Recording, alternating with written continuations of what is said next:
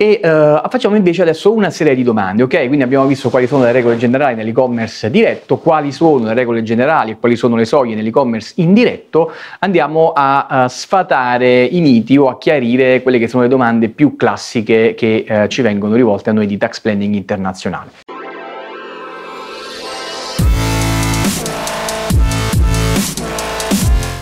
Quindi al numero 3 del, della nostra mini guida del, dell'attuale video troviamo la seguente, la seguente domanda. Ho sede fuori dall'Unione Europea, fuori dalla comunità dell'Unione Europea, ma erogo servizi elettronici, quindi tramite internet, quindi e-commerce diretto a privati consumatori che invece risiedono in Europa. È il classico caso dei servizi di web hosting offerti magari tramite un provider americano, magari tramite una società nel Delaware a un privato cittadino che risiede invece in Belgio, in Olanda, in Lussemburgo, in Italia, in Francia, eccetera, eccetera, eccetera. In questo caso il semplice, tra virgolette, semplice fatto di avere sede al di fuori della comunità dell'Unione Europea non mi, ehm, non mi esonera dall'applicazione dell'IVA. L'IVA, e poi vedremo come verrà gestita, è comunque di competenza del paese del consumatore. Non ci dimentichiamo che l'IVA è, un paese, è un'imposta al consumo, quindi la vado a eh, dichiarare, la, è territorialmente rilevante, si dice in gergo, nel paese in cui si trova il consumatore. Quindi il consumatore belga dovrebbe applicare l'aliquota belga, il consumatore italiano dovrebbe applicare l'aliquota italiana del 22% su un servizio di web hosting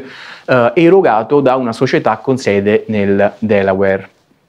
Domanda nonché punto numero 4 ho sede nell'Unione Europea e fornisco servizi a privati consumatori non soggetti passivi, cittadini residenti all'interno dell'Unione Europea. L'IVA in questo caso dove va versata? Ok? Quindi che cosa cambia rispetto al punto 3? Che in questo caso è una società che ha sede legale e fiscale all'interno dell'Unione Europea e non extra UE, ma eh, la tipologia di servizi è sempre la stessa, servizi elettronici, quindi la famosa lista della direttiva IVA, eh, servizi erogati di e-commerce diretto volgarmente detto, che vengono erogati a privati cittadini consumatori eh, residenti in uno dei 27 eh, Stati membri. Anche in questo caso, se vi ricordate la regola generale che abbiamo detto all'inizio, l'IVA è territorialmente rilevante, quindi è di competenza del paese del consumatore, di nuovo imposto al consumo, e andrà applicata l'aliquota eh, di ehm, rilevanza del, del paese dove si trova l'acquirente. In Europa l'aliquota più bassa, per esempio, è quella del 17% applicata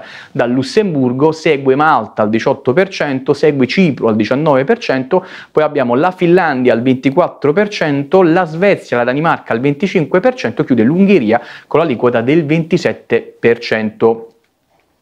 Punto barra domanda numero 5. Ho sede fuori dall'Unione Europea e fornisco servizi elettronici ad acquirenti europei. Come posso ridurre il mio carico IVA? Quindi um, il caso è quello di un'azienda extra UE che vende sempre servizi elettronici, quindi servizi a mezzo internet, quindi e-commerce diretto, non mi stancherò mai di ripeterlo per evitarvi confusione, uh, all'interno del, ad acquirenti uh, europei, diciamo privati consumatori, quindi sempre persone che non hanno la partita IVA. La regola generale, se vi ricordate, ci dice che l'IVA è a carico del consumatore. C'è però un ma e questo, eh, come dire, è una regola ehm, che può tornarvi utile in pratiche di, di tax planning sui, sui flussi IVA.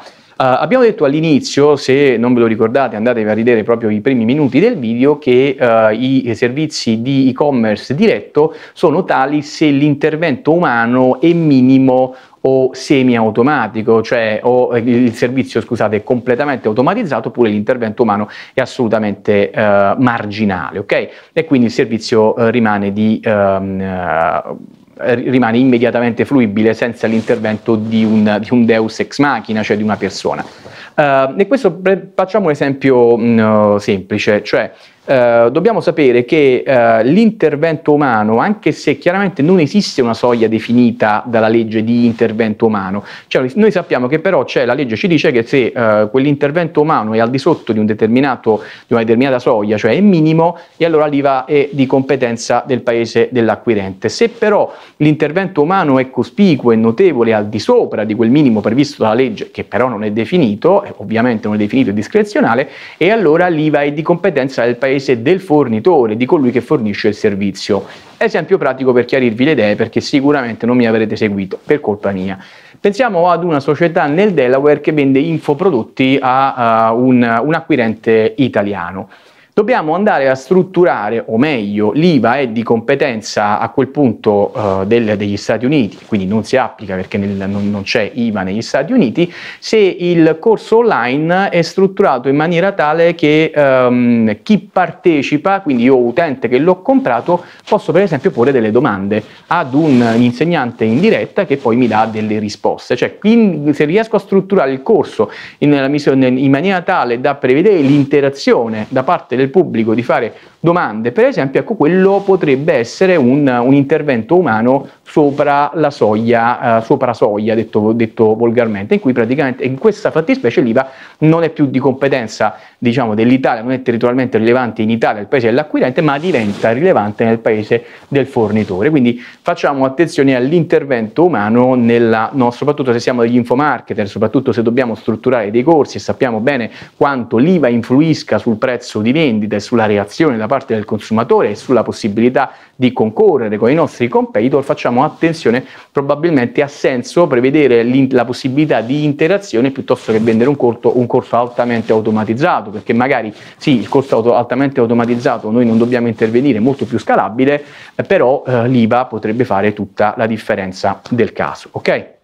Passiamo avanti, punto numero 6, quindi allontaniamoci uh, dal, per, un, per, un, momento dai servizi elettronici e torniamo invece alle vendite a distanza. Uh, e la domanda è che cosa succede in una società di e-commerce se questa non raggiunge il massimale di vendita all'interno di un anno. Abbiamo visto che i massimali, quelli al di sopra o al di sotto del quale io devo applicare l'IVA di un determinato paese piuttosto che di un altro oh, sono da rapportare al periodo d'imposta, quindi vanno dal 1 gennaio al 31-12. Se quel periodo d'imposta io sono sotto quella soglia, ed è questo il caso della domanda, allora io non ho necessità di applicare l'IVA di nessun altro paese, posso, sotto, posso applicare l'IVA del, del, paese del fornitore, del paese del, del, cedente, quindi non ho l'obbligo per forza di eh, identificarmi se non supero quella soglia, quindi altra domanda da un milione di euro.